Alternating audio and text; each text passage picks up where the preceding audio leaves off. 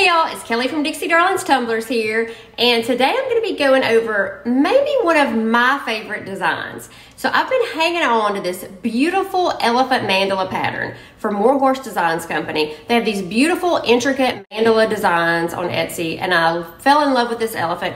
Being from Tuscaloosa, we all love elephants, the crimson tide, and red and white. So of course that's the design I wanted to go with on this cup. So about a year ago, I did this pineapple, and I didn't really think about it being any kind of template. I just knew I wanted to add some color into it and lay some vinyl over it.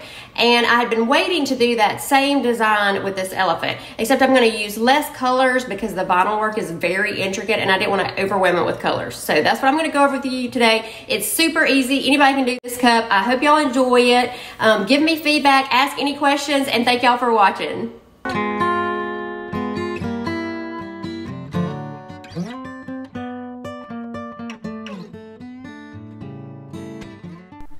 So I'm starting out with a sanded cup and I've painted it with Rust-Oleum 2X Apple Red. And then I've printed off this mandala design and I'm putting it up on the screen because it was really hard to see um, and all white on camera. So I thought the white would show up easiest on the red, but I didn't really think that, about you not being able to see it on camera. So I'm just applying my transfer tape here and then this is a five inch square. It's five inches wide by approximately five inches long. So I'm just going to add, uh, apply my transfer tape and then add my design directly to the spray painted cup. I have not layer, put a layer of epoxy or anything on the cup first. It's just been sanded and spray painted. So I did want to add in here before I forget, when you go to print your vinyl decal off that we're laying right here, make sure you print this also in whatever color vinyl that you're going to lay on top of this after we lay the glitter. So, or save it to Design Space. I have learned that the hard way. I think we probably have all done that. Make sure you either save it or you print it off at the same time. This time I printed the silver off that I'm going to lay on top at the same time I printed my decal. So I'm just applying the decal now. I'm being very careful not to pull any of the vinyl decal up. It does want to pull up pretty easy because there's no epoxy on this cup.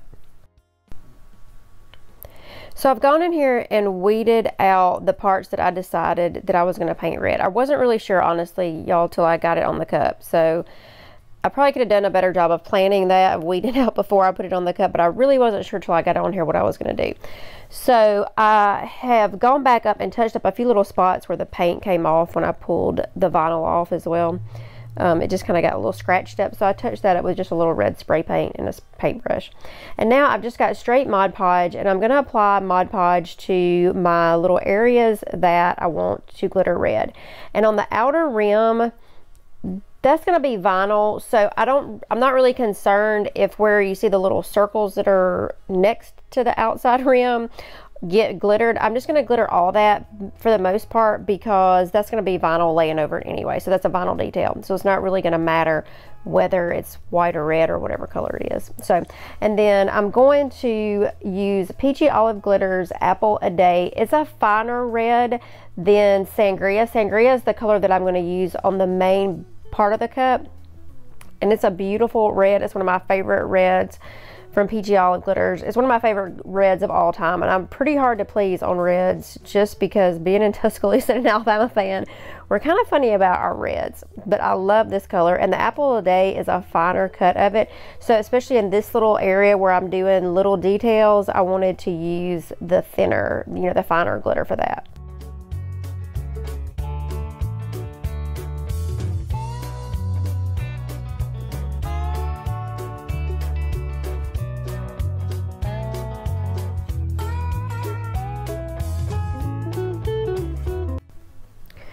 And I'm just going to work my way around um, using the Mod Podge and the glitter. I do use two coats on the elephant.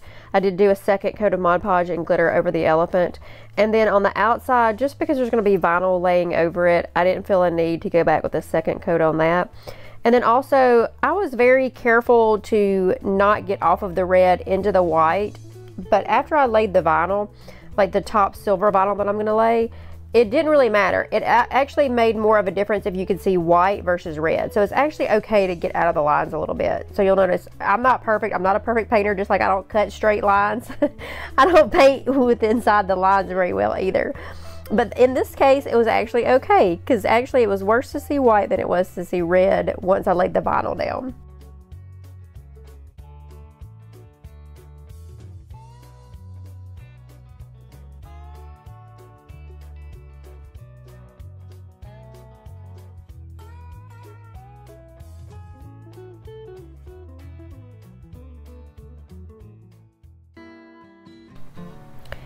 So now I'm starting with just like, I mean, uh, this was uh, some extra epoxy I had left over, so I wouldn't even say it's like one milliliter. So I'm gonna take just this little bit of epoxy and I'm gonna apply it to the rest of the cup, so the red. So I wanna apply all the red glitter before I go back in with my white. So I'm just kind of, you can see I'm just dripping it around the cup here. And I have gone in and brushed off all the red. So I let it dry really good, probably an hour or two, and then took a brush and just brushed off all the excess red. And then you can see I've just like, there's just a little bit left over here where I was actually using it on a cup. And I'm just gonna spread that out very carefully around the cup, around my vinyl that's laying on there. And get it as close to the design as I can without actually going right up against it. And then I'm going to get my little silicone fine tipped pin and do the rest of it with that. So I'm just going to kind of take the little pin around and make sure that it gets right up along the edge of that white vinyl.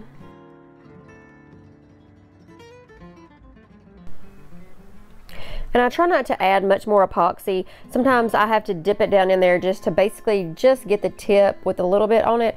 But I'm trying not to add very much. I'm, try I'm trying to just stretch out what is already on the cup because uh, we are just doing the epoxy method. So it is just going to hang and I don't want any of the glitter or the epoxy running down into my design at all.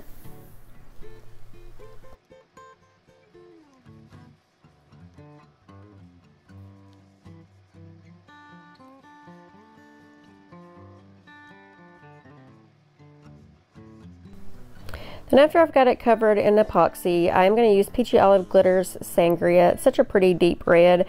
It's the perfect red when I put it over this base. They also have Suki, which is a lighter red that would be probably more the color of the base, but I just love this Sangria over this. It just is the perfect Alabama red.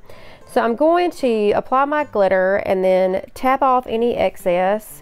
And I'm trying not to get it in my white vinyl, although it shouldn't stick to it anyway because I feel like I've done a fairly good job of not getting epoxy on my vinyl. Um, I guess we'll see.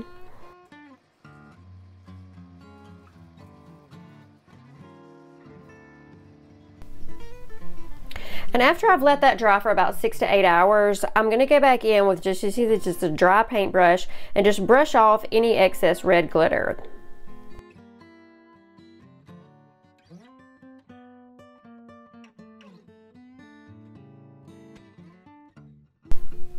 So after I brushed off all the excess, I am going to apply two coats of Mod Podge Gloss Adhesive Sealer. Um, I do one coat and then I wait about 30 minutes and then I do a second coat. And then now I'm ready to go in and do my white glitter in the center. So I decided on just doing one color just because there was a lot of vinyl work going to be going on here and I didn't want it to get too complicated. So I'm using Peachy Olive Glitters Luxe. It's this beautiful white that has silver and gold mixed into it. It was just the perfect combination. I knew I wanted to do silver vinyl for the cup, but I wanted a little gold fleck in there too. So this was the perfect white to use. So I'm just going around with my Mod Podge, applying the glitter just like I did in the process before. And I only do one coat here.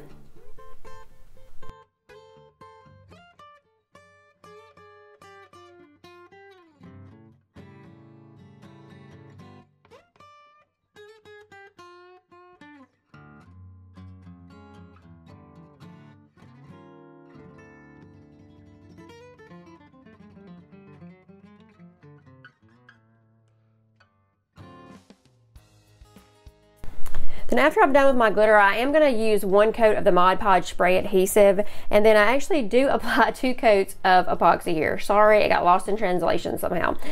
So I use Counterculture's Artisan Epoxy. I applied one coat of 20 milliliters. I let that dry for about four to six hours, and then I went into a second coat of 20 milliliters of epoxy, and I let that dry for about six to eight hours because now I'm going to sand the rim. So I'm going to carefully sand it. I'm using an 80 grit sanding block, but uh, it's one that's kind of worn down a little bit, so you actually could do like a 120. I'm just going to be try to be really careful with this red glitter around the rim. I don't want to scratch any of it off where it's not red. So now here I have my silver detail that I printed off when I printed my original white vinyl just so I had it in the same size. I've printed that off and weeded it and I'm just going to use my transfer tape to carefully lay it down and then line it up with the cup and apply it to the cup. And I decided to leave the backing on my vinyl for as long as possible, um, except for just this one little area to try to get it lined up pretty well first before I ended up with all these little pieces all over my cup and they weren't lined up.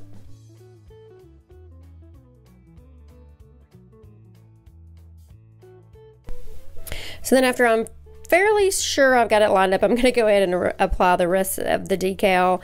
Just taking it slow as I'm working around the cup and making sure that I'm pressing it down pretty firmly so they're lined up and it's not going to pull off when I pull my transfer tape off. And then I had these cute little uh, initials that I did on a girl's cup and so I decided that I wanted to put mine on the back side of this cup. It, it was fine with just that design. I just thought it needed a little something else. So I am going to go in with my initials and here I'm just going to measure from one side to the other how much room I have for the initials. That's kind of how I work I just measure and then I'm going to think, I'm deciding that I need them about three inches wide.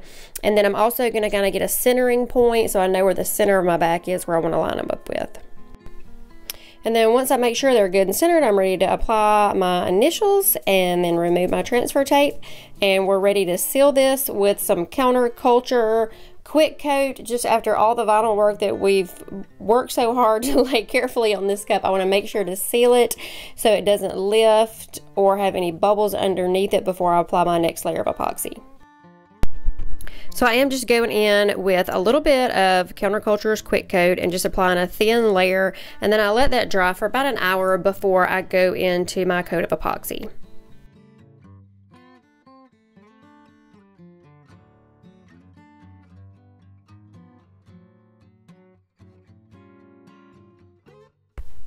So after I've let the layer of quick coat dry for about an hour, I am going to go in and add 20 milliliters of Counterculture's Artisan Epoxy. That's what I have here. I'm going to apply this. I'm going to use my torch to pop any bubbles. I let that dry for about four to six hours and then I do go in with a final coat of another 20 milliliters of Counterculture's Artisan Epoxy. And then after this coat's dry, we have a final product. So y'all let me know what you think. I will link all the products that I used today in the description box below as always. Y'all ask any questions that I wasn't clear on. Please tag me in your post. I know y'all are going to be so creative and use way more than three colors like I did. So please tag me and let me see your creations. If y'all will go like, share, comment, subscribe, all that fun, crazy stuff, I sure appreciate it. Thank y'all for watching, and I'll see y'all again soon.